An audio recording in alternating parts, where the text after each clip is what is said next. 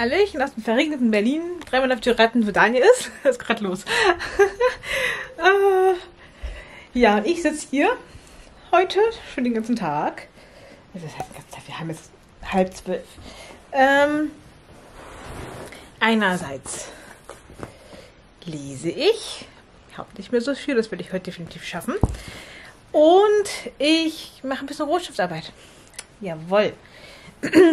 Ein anderes Manuskript das auch schon halb rot, gerotstiftet ist. also die Hälfte. Deswegen halb. Genau. Und habe gerade gefrühstückt. Ein bisschen Smacks gegessen. Jawohl. Moni ist auch schon ganz wuselig. Die wollte immer da hinten hin auf ihren Platz. Auf ihren Platz, auf den Katzenplatz, ne? Daniel saß aber die ganze Zeit da. Oh, bis zur Ecke. Und dann, nee, doch lieber nicht. Und oh. Ja. Ich habe schon gesagt, wenn er geht, ist sie bestimmt gleich da, ist er noch nicht mal unten. Aber jetzt ist sie oben auf dem Kratzbaum. Hm. Doch nicht so schnell. Also ist sie ganz hier rumgewuselt, ähm, vor mich hingelegt, da hingewuselt und immer wieder in die Ecke, also in die Richtung zumindest. Aber er saß halt da und das war doof. Irgendwann saß er halt hier richtig in der Ecke, statt da in die Richtung. Und dann war noch dämlicher. Dann war nee, ja, nee. Dann war bis hier hoch und ach nee, doch nicht. Jetzt ist er oben.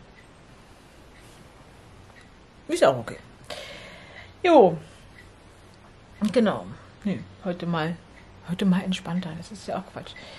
Aber auf jeden Fall ohne Rechner, ohne Handy. Ja, ja, ja. Das ist wichtig. Und oh, ich denke mal, ich werde mich heute mit diesem Kram hier beschäftigen. Ich habe aber eine Wochenplanung schon gemacht.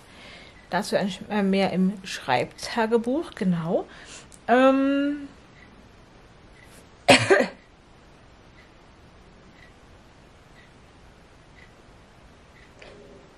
ist das der Wind oder ist das schon wieder so ein Spinnviech? Ich guck mal eben. Nicht, dass da wieder so ein Spinnviech rumwappelt. Weiß ich nicht. Aber es ist irgendwie. Könnte wieder so ein Zeug sein. Ich hole gleich mal einen Staubsauger. Juhu. Das ist ja echt anstrengend. Naja, ähm, ja. Wo war ich? Habe ich vergessen. Wochenplanung gemacht. Mehr im Schreibtagebuch. Genau, das war eigentlich alles. Genau. Mehr ist auch erstmal nicht. Entspann mich hier. Warte, bis er wiederkommt. Aber mir passiert ja eh nicht. Von daher, oh, Sonntag halt, ne? Und jetzt nur noch drei Tage und zwei Stunden. Naja, das ist erst nächste Woche. Heute ist erstmal lesen und Schreibgedönse machen und sowas. Ein bisschen Wohnung puscheln. Ja. Da sieht es auch nicht mehr ganz so schlimm aus. Wenn man auf den ersten Blick sieht viel aus, aber der Tisch ist tatsächlich fast frei. Ja, ja, ganz seltener Anblick.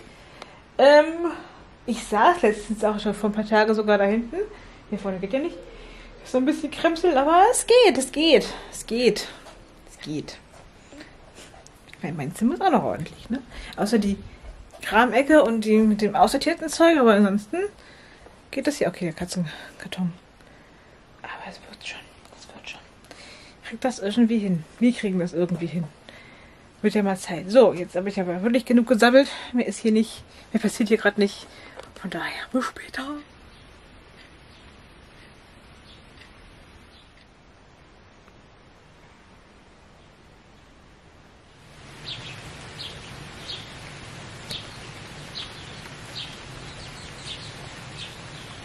Eigentlich zu Hause oder es gibt Pizza ja! von Domino's.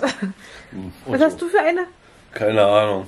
Irgendwas mit Barbecue und so Zeug. Genau. Und ich habe eine Teriyaki-Pizza. Mal gucken, wie die schmeckt. Guten Morgen.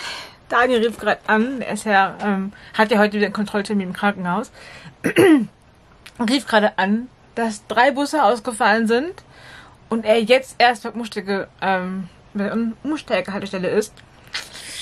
Und er hat in sieben Minuten seinen Termin. Das wird knapp. Könnte er vielleicht gerade so schaffen von da aus. Ist nicht mehr so weit. Er hat zwar angerufen, dass er sich wahrscheinlich eine halbe Stunde verspätet, was sehr, sehr viel ist. Aber danach muss der Arzt in OP. Also, äh, hoffen wir mal, dass er noch rechtzeitig ankommt, dass der Arzt noch da ist. ja. Ich denke mal, das wird nicht lange dauern, wenn der Bus gleich kommt. Dann braucht er, hat er auch selber gesagt, braucht er so circa 10 Minuten bis dahin. Das ist jetzt auch nicht so ewig. Also kommt er vielleicht ein paar Minuten später bloß, dann passt es wieder. Oh. Er ist nur bis heute krankgeschrieben. Das heißt, er braucht auf jeden Fall eine Krankgeschreibung, eine weitere. Ähm, und sein Arm ist immer noch nicht schnicki-micki. Ab und zu geht zwar schon, aber, also seine Schultern ist der Arm, wie auch immer. Äh, aber ab und zu hat er Tage, wo es richtig doll noch weh tut. Naja, er schont sich nicht. Das, dazu sage ich nichts. Ähm, ja. Nun ja. So ist das, ne?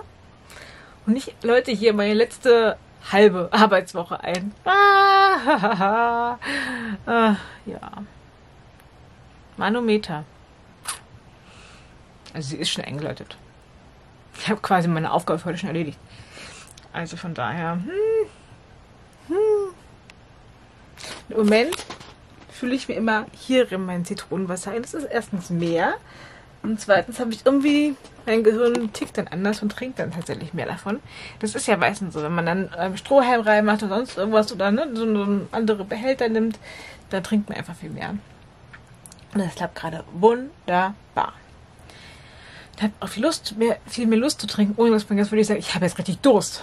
Ähm, genau. So sieht's aus. Wollte ich nur gesagt haben. ja, mir ist, glaube ich, erstmal nicht so. Hier ist niemand. Außer, dass das alles ein bisschen verfuddelt ist oben. Mal jetzt selber gemacht. Das ist, sieht aus, ey. Ah. Ansonsten, Moon liegt auf dem Kratzbaum. Im Wohnzimmer ganz oben. Diablos im, auf dem, in der Mulde in, auf, dem, auf dem Flur. Auf dem Balkon. so. Auch okay. Anscheinend sind die plötzlich schon wieder out oder so, keine Ahnung. Oder sind zu, sind zu verfuttelt. Kann natürlich auch sein. Ja, gucken, vielleicht mache ich das nachher mal. Schnicki, dass ich mich da auch wieder hinsetzen kann. Weil so ist ja, da hat man ja den ganzen Hintern voller Haare. Dann ist aus. Kurzes Daniel-Update. Er hat es noch geschafft, aber es wird doch ein anderer Arzt. Obwohl er nochmal angerufen hat, er gefragt, ob das der Arzt ist. Aber ja, war wohl ein anderer. Dann nochmal zwei Wochen krank geschrieben. Und darf nochmal ein CT machen, weil es schon eine Weile her ist. Und, hm, und gucken, wie es jetzt zusammengeheilt ist und so weiter und so fort. Das darf er dann die Woche anscheinend auch noch machen.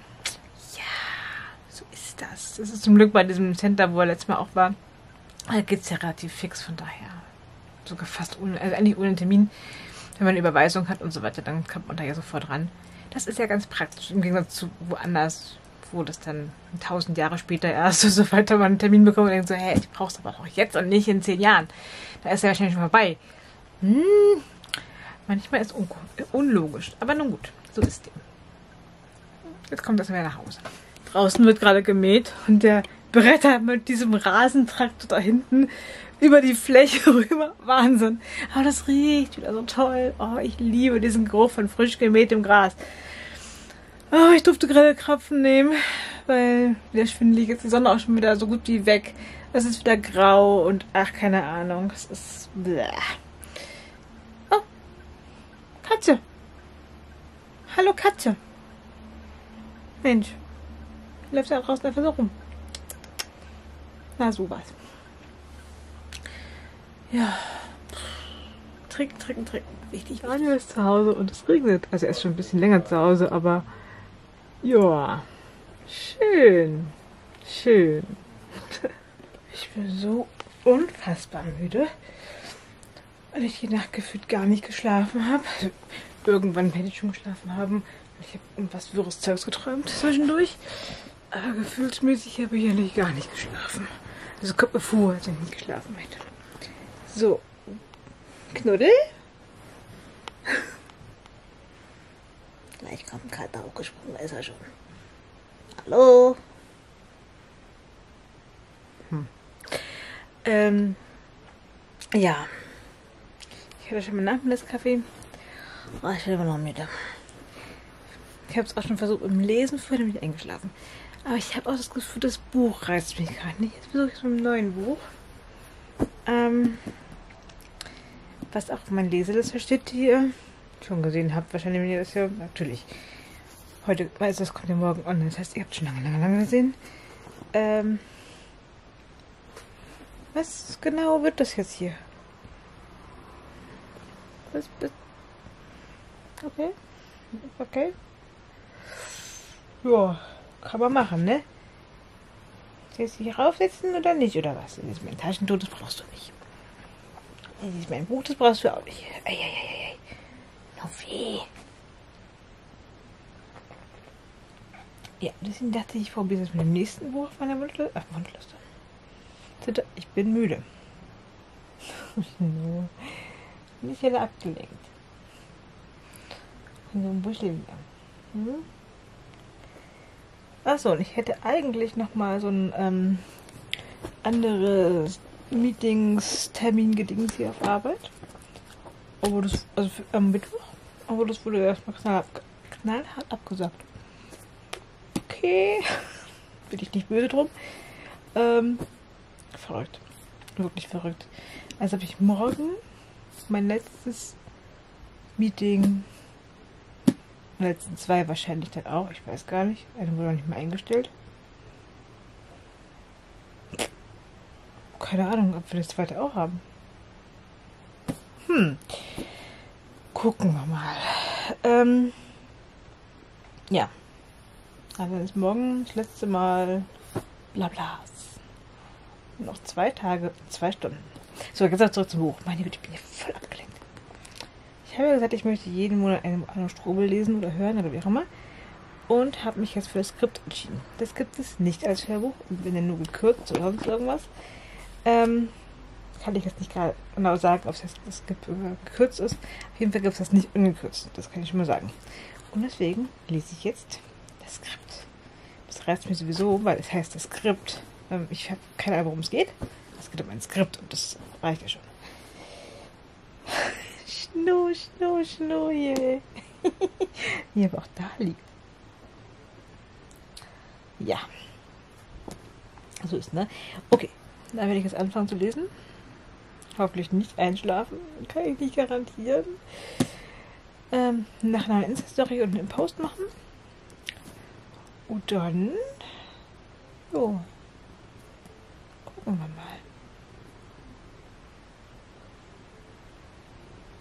Oh, mir ist erstmal nicht. Daniel geht nachher nochmal los zur Physio. Währenddessen werde ich den unter die Dusche springen. Ähm, soll auch noch Post kommen. Hermes. Wenn man für ihn zum Abholen und für mich was bringen. Da freue ich mich ja schon, ne? Neue Goodies etc. pp. Oh. Da freue ich mich richtig drauf. Und da hätte ich dann damit auch nochmal ein Story-Zeugs zu machen. Ja. Hm. spannend, alles spannend. Ja, der Tag ist zu Ende. Rechner fährt hoffentlich rund. Wahrscheinlich kommt gleich wieder eine Fehlermeldung, wie es rumkringelt. Irgendwas ist mit Dingenskirchen hier. Wie heißt das? Cut. Mit irgendwelchen Faxen. Ich wurde nicht gewöhnt. Hm. Egal. Oh. Ich kann nach besser schlafen. Ähm, da ist nicht einmal nass geworden, obwohl es durch die geschüttet hat, sieht es auch schon grau aus. Aber ja, war ja heute andere Mal bei der Physio. Ein letztes Mal. Sag ich da, dass es wieder rumzickt hier. Und er ist nicht das geworden. Trocken geblieben. Erstaunlich, erstaunlich. So, jo. Trinke erst mein restliches Wässerchen aus. Das, das dritte Glas, das habe ich nicht mehr ganz voll gemacht. Ich wusste, ich trinke nicht mehr so viel. Ja. Ich bin müde. Aber noch zwei Tage und zwei Stunden. Jawohl. Sehr schön, sehr schön. Und mal gucken, ob wir morgen zwei Termine haben oder nur einen. Eigentlich hätten wir ja morgen zwei. Aber gut. Vielleicht kommt der Termin auch morgen früh dann noch mal schnell rein oder sowas. Keine Ahnung. Wir werden das sehen. Okay. Dann sehen wir uns auf jeden Fall morgen wieder. Gute Nacht. Bevor ich es vergesse, wir haben heute Urlaubspass bekommen. Vielen lieben Dank aus von den Grüßen. Nein, für die Grüße von der Nordsee. So. Auch Nordsee, ne? Ja, die falsche Sache. Kommt jetzt hier auch an die Wand. Hihi.